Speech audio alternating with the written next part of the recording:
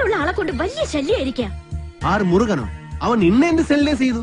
എന്നെ അല്ല മീനാക്ഷിയെ. അതുവല്ല തമാശക്കാക്കി പറഞ്ഞത്. കളിയും തമാശ ഒന്നും അവളുടെ അടുത്ത് വേണ്ട. എനിക്കോ ചീത്തപ്പേരായി. ഇനി അവൾ കൂടി ചീത്തപ്പേരുണ്ടാക്കി വെക്കണോ? നിന്റെ ഒരു ചീത്തപ്പേരുണ്ടായാൽ അത് കളയാതെ നോക്കേണ്ടത് നിൻ ജവാബ്ദാരി നന്തല്ല കളിയാക്കണ്ട.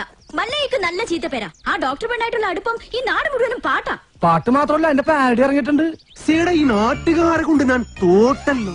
ഇവരിത് എങ്ങനെ മണത്തറിഞ്ഞു ഞാനിത് രഹസ്യമായിട്ട് വെച്ചിരുന്നതാണല്ലോ. ഇയാളത്ര ശരിയല്ലെന്ന് എനിക്ക് പണ്ടേ അറിയായിരുന്നു. ഒരു പാതിരായിക്ക് എന്റെ മുറി കയറി വന്നല്ലേ ഓഹോ അപ്പോൾ അങ്ങനെ ഒരു സംഭവം ഉണ്ടായിരുന്നല്ലേ? എന്താ മല്ലയ്യ? എന്താ ഞാൻ കേൾക്കുന്നത്?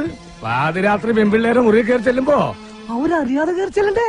അല്ലെങ്കിൽ നമുക്ക് ചീത്ത പേരാ. വെളുപ്പിന് ഒരു മൂന്ന് മണിക്ക് ചെന്നുള്ളൂ കുഴപ്പമുണ്ടാക്കൂല. എന്റെ അനുഭവത്തിനാ ഞാൻ പറയണത്. കുട്ടിയുടെ കാര്യത്തിലല്ല നമ്മുടെ ഭർത്താവ് ഉപയോഗിച്ചു പോയി കാർത്തികാനില്ലേ ഇരിങ്ങാലക്കുട ജംഗ്ഷനിൽ പാലുറ്റി നടന്ന. എന്നെ കെട്ടിയിട്ട് നാട്ടുകാർ എല്ലാം പോയപ്പോ ജെറ്റി തോടിയില്ലേ ഞാൻ? ആ. ഇത്രയും കാലം ഞാൻ ഇതെല്ലാം മറച്ചു വെച്ചു. ഇനി ഞാൻ ഇതെല്ലാവരോടും പറയാൻ തന്നെ പോവാ. നീ പോയി പറയടി കുറെ നാളായാലോ നീ ഇത് പറഞ്ഞ് എന്നെ വേടിപ്പിക്കുന്നു. ഇനി ഞാനൊരു സത്യം പറയട്ടെ. അന്ന് ഞാൻ വന്നത് ശരിക്കും നിന്നെ നശിപ്പിക്കാനാ. നീ പെട്ടെന്ന് എഴുന്നേറ്റത് കൊണ്ട് നീ രസപ്പെട്ടു ഇനി നിന്നെ രസപ്പെടില്ലടി ഇത് കണ്ടോ? ഇത് ബോധകെടുത്താനുള്ള സ്പ്രേയാണ്. ഇത് അടിച്ചിട്ട് നിന്നെ നശിപ്പിക്കും. മുന്ത ഹിന്ദ എന്നോട് നശിപ്പിക്കും അതെ മല്ലയെ സൂക്ഷിക്കണം. പൂട്ടിയിട്ടതായണ പോലും വെടിവെച്ച ആളാ. ഈ ഇരുമ്പിന്റെ ചുരിദാർ ഇറങ്ങിയിട്ടുണ്ടെങ്കിൽ ഒരെണ്ണം വാങ്ങിച്ചോളൂ. അല്ലെങ്കിൽ വേണ്ട അയാൾ അങ്ങനെ വിട്ട ശരിയാവില്ലല്ലോ. ഞാൻ വന്ന് കുട്ടിക്ക് മേടിക്കും. നിന്നോട് ഞാൻ പല പ്രാവശ്യം പറഞ്ഞിട്ടുണ്ട് ആ മീനാസി സെല്ല് ചെയ്യരുതെന്ന്. നിനക്ക് നാച്ചിക്കാകില്ല ഓ മല്ലയ്യ അത്ര നല്ല പിള്ളയൊന്നും ചമയണ്ട. പാതിരാത്രി മുറി കയറി ചെന്നിട്ട് ബോധം കെടുത്തിട്ടുള്ള പദ്ധതി പറയുന്നൊക്കെ ഞാനും കേട്ടു. എടാ അത് ഞാനവിടെ സുമ്നെ പട്ടിക്കാൻ പറഞ്ഞതല്ലേ? ഇത് നിജമാകലോ ഷേവിംഗ് ക്രീമോ അയ്യേ. എന്ത് പണി ഈ കാണിച്ചേ?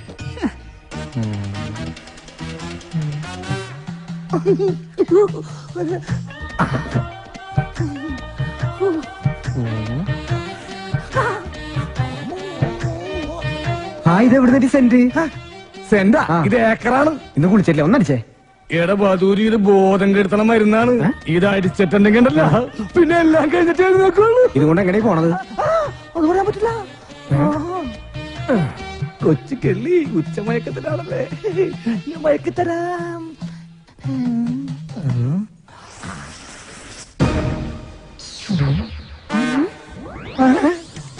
അയ്യോ ബോധം കെടും ബോധം കെട്. ഇതടിച്ച ബോധം കെടും. ബോധം കെടാനുള്ള സ്പ്രേ തന്നെ.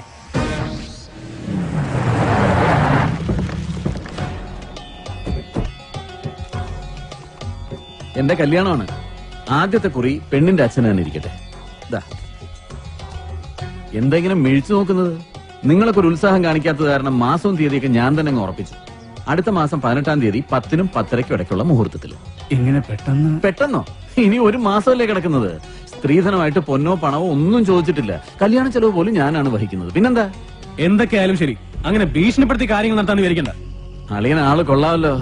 കാശ് കടം വാങ്ങുമ്പോ ഈ നിൽക്കുന്ന നിന്റെ അച്ഛൻ പണ്ട് എനിക്കൊരു വാക്ക് തന്നിരുന്നു. ഇപ്പൊ നിന്റെ പെങ്ങൾ വലിയ ഡോക്ടറായപ്പോ അത് മാറ്റി പറഞ്ഞോണ്ടല്ലോ. ആ ഇവിടെ ഉണ്ടായിരുന്നോ? നീ വിചാരിക്കുന്നുണ്ടാവും. നിന്റെ സൗന്ദര്യം കണ്ട് മതിമയങ്ങി ഞാനങ്ങ് കല്യാണത്തിന് ഒരുങ്ങാണെന്ന് അതൊന്നും അല്ലടി. ഇപ്പൊ ഇതെന്റെ ഒരു വാശിയാ. നിന്റെ മറ്റവനോട് ജയിക്കാനുള്ള വാശി. കൊള്ളാം. തന്നെ പോലെ ഒരു ക്രിമിനലിനെ വിവാഹം കഴിക്കുന്നതിനേക്കാൾ നല്ലത് ആത്മഹത്യ ചെയ്യുന്നതാ. ആ കർണാടകക്കാരന്റെ ബലത്തിൽ കിടന്ന് നെകിളിച്ചോണ്ടല്ലോ നിന്റെ ഈ കഴുത്തിന് അരിഞ്ഞോളയും അയ്യോ അവനൊന്നും ചെയ്യല്ലേ. എന്റെ നേരെ കൈവൊക്കെ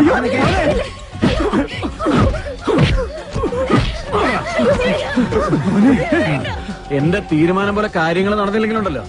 എല്ലാറ്റിനും ജീവനോടെ കത്തിക്കും ഞാൻ. ആ.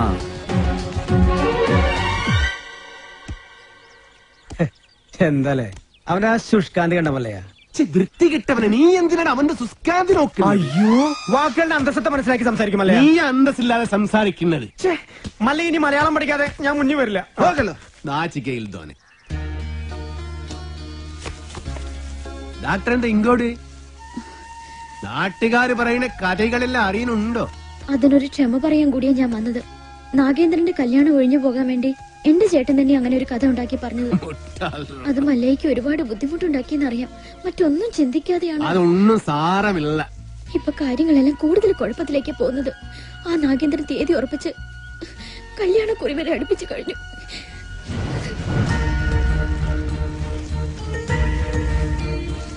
അപ്പൊ നാട്ടുകാര് പറയുന്നതിൽ കാര്യമുണ്ട്. കണ്ടില്ലേ? എല്ലാം ശരിയാകും. ലക്ഷ്മിന്റെ ആഗ്രഹം പോലെ എല്ലാം നടക്കും. നിംതിയാഗ്രഹം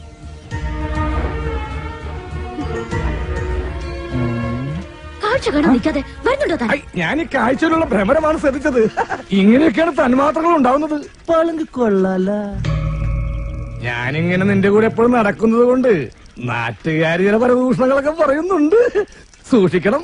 എന്താ? അല്ല ചില നാടുകൾ പറയാ ഞാൻ നിന്റെ വേലക്കാരനാണെന്ന്. ഉം, ശരിയല്ലേ? ആ ശരിയാണെങ്കിൽ നടന്നോ. അതിനെ തുറപ്പിച്ചു നോക്കണമെന്നാണ് നമുക്കൊന്നും വിധിച്ചിട്ടില്ല.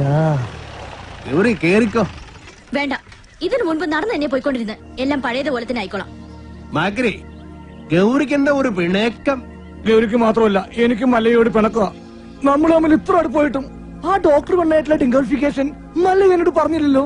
പറഞ്ഞിരുന്നെങ്കിൽ എന്ത് ബ്രോക്കർ പണിയും ഞാൻ ചെയ്യുമായിരുന്നില്ലേ കാറ്റാപ്പിള്ളിയോട് പോകാൻ പറ നിങ്ങളുടെ വിവാഹം ഒരു അച്ഛന്റെ സ്ഥാനത്ത് നിന്ന് ഞാൻ നടത്തി തരും. കുരവിടാൻ ഈ ഗൗരി ഉണ്ടാവും ഇല്ല മോളെ? ഏടാ മാക്രി മൂർക്ക ആ. നീ എന്താ വിസാരിച്ചത്? നല്ല പ്രായത്തിൽ മള്ളയെ പ്രേമിച്ചിട്ടില്ല. പിന്നല്ലേ സീത്ത പ്രായത്തിൽ. പിന്നെ മള്ളയുടെ അടുത്ത് ആര് സഹായം ചോദിച്ചാലും മള്ളയെ കൊടുക്കും. ഓഹോ. അത് ലക്ഷ്മി ചോദിച്ചാലും കൊടുക്കും ഈ ഗൗരി ചോദിച്ചാലും കൊടുക്കും. അല്ലാതെ അതിലൊന്നും ഒരു കാര്യമില്ല നീ വേണ്ടാതെ പറഞ്ഞാലുണ്ടോ? ഞാൻ അല്ല അടിവെച്ച് തരും. അതായിത്ത മനസ്സിലായോടി ഡഡി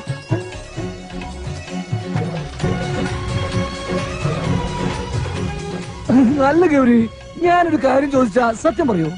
മല്ലിക ഡോക്ടറെ കെട്ടാൻ പോണെന്ന് പറയുമ്പോ നിനക്കെന്താ ഇത്ര വെപ്രാളം തേച്ചു അതുപോലെ അങ്ങേര് വന്നതിനെ ഈ വിശദീകരണമൊക്കെ തരുന്നത്? ഇതിൽ നിന്നും നമുക്കെന്താ മനസ്സിലാവുന്നത്? രണ്ട് മത്സര പിടുത്തക്കാർ തമ്മിൽ സ്നേഹിച്ചാൽ ഇങ്ങനെ ഇരിക്കും. പുറമേ ഗുസ്തി കണ്ടു നിൽക്കുന്ന നമ്മളൊക്കെ മണ്ടന്മാരും. ഒന്ന് പോകോ വലേട്ടാ. ഏട്ടനോ? ഇപ്പൊ ശരിയായി. ആശാനൊന്ന് വേഗം വാ. ആ മുരുകൻ ഇങ്ങനെ ഒരു സന്മനസ് കാണിച്ചതുകൊണ്ട് ഇപ്പൊ ഇതിനകത്തേക്കിലും ഒന്ന് സഞ്ചരിക്കാറായി. എനിക്ക് അവനെ അത്ര പിടിക്കുന്നൊന്നുമില്ല. ഒരു വായി നോക്കി. ഏയ് മുരുകൻ ആൾ ഡീസന്റാ. ബാപ്പാന്റെ ഭാര്യ കുട്ടികൾ എന്ത് വിളിക്കും? ഉമ്മ. ആണേ. തന്നോളൂ. ഏറ്റവും തോന്നുന്ന എന്തുവാടാ ചെസ് കളിക്കുന്നു? ചീട്ടിട്ടടാ. ഓ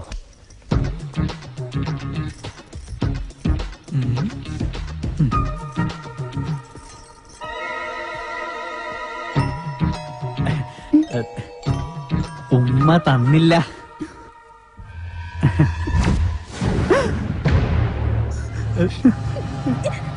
അവൻ ഏതായാലും അവനേതായാലും ഉമ്മ ചോദിച്ചതല്ലേ? ചെന്ന് കൊടുക്കടാ. അയ്യേ അയ്യനെ അയ്യ, അയ്യേ. എന്ത് രതിവകൃതമാണ് ഈ കാണിക്കുന്നത്? ഇവന്റെ സ്ഥിതി ഇതാണെങ്കിൽ കാണാൻ കൊള്ളാവുന്ന ഞാൻ എന്ത് വിശ്വസിച്ച് ജീവിക്കും?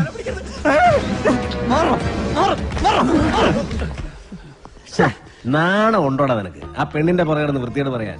വല്ലവന്റെ വീട്ടിൽ കയറി വെള്ളം അടിച്ച് ചീട്ട് കളിക്കുന്നതിന് അത്ര വൃത്തിയായിട്ടില്ല തോന്നി മാസം കാണിച്ചിട്ട് നീ മറ്റേ വർത്താനം പറയുന്നു. അടിച്ചെന്നെ മോന്നോടെ ഷേപ്പ് ചെയ്യാൻ പറ്റും. ആളാകാൻ നോക്കല്ലേ? മല്ലയെ കുപ്പിയിലാക്കി പത്ത് ലക്ഷം വാങ്ങിച്ചോണ്ട് പോയിട്ട് ഡെയിലി കുപ്പിയായിട്ട് വന്നേക്ക. ഇനിയും വല്ല നക്കാപ്പിച്ചും കിട്ടുമെങ്കിൽ വാങ്ങിച്ചോണ്ട് പോയിക്കണം. അല്ലാതെ ഭരിക്കാൻ വന്നോണ്ടല്ലോ. എന്താണ് വേണ്ട.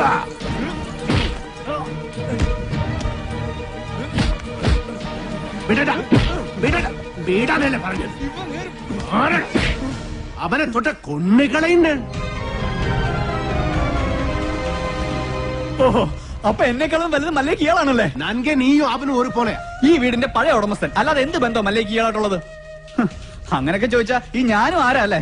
പണ്ട് മസനഗുഡിയിൽ തോട്ടം വാങ്ങിക്കാൻ വന്നപ്പോ നിലവിലുണ്ടായിരുന്ന കാര്യത്തിന്റെ മോൻ. അത്രല്ലേ ഉള്ളൂ. അങ്ങനെയാണ് നിന്നെ ഞാൻ കരുതിയിരിക്കുന്നത്? എന്താ ചന്ദ്ര ഇത്? മല്ല എന്നോട് ക്ഷമിക്കണം. മീനാക്ഷിയുടെ ഇവൻ മോശമായി പെരുമാറുന്ന കണ്ടപ്പോ പെട്ടെന്ന് ഞാൻ ഓഹോ എന്നിട്ടാണ് നിന്നെ ന്യായം പറയണത്? മീനാക്ഷി സെല്ലി ചെയ്യരുത് നിന്നോട് ഞാൻ എത്ര പ്രാവശ്യം പറഞ്ഞോണ്ട് മാനകെട്ട മകൻ മറ്റുള്ള പെമ്പിളാരെ കണ്ട പോലൊന്നുമല്ല. അവളെ ഞാൻ കണ്ടതും അടുത്ത് പെരുമാറിയത്.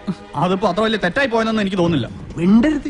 കൊള്ളുണ്ണൻ മല്ലയ്യ ഞങ്ങൾ കാരണം ഇനി നിങ്ങൾ തമ്മിൽ വഴക്കു വേണ്ട. ഞങ്ങൾ ഇന്ന് തന്നെ ഇവിടെ ഇറങ്ങിക്കോളാം. പോകേണ്ടത് നിങ്ങളല്ല. ഇവനാ ഇവൻ. അല്ലെങ്കിൽ ഞാൻ പോകാൻ തന്നെ തീരുമാനിച്ചിരിക്കാം. ഇനി പോകുള്ള മുറുക പാടാന്നൊന്നും പറയാൻ നിൽക്കരുത്. നീ ഇങ്ങോട്ട് വരേതേ വേട ഇനി എന്റെ പട്ടി വരും. മല്ലേക്ക് ഇപ്പൊ ബന്ധുക്കളൊക്കെ ആയല്ലോ. തളർന്നിരിക്കുന്നതും കിടക്കുന്നതും ആയിക്കോ.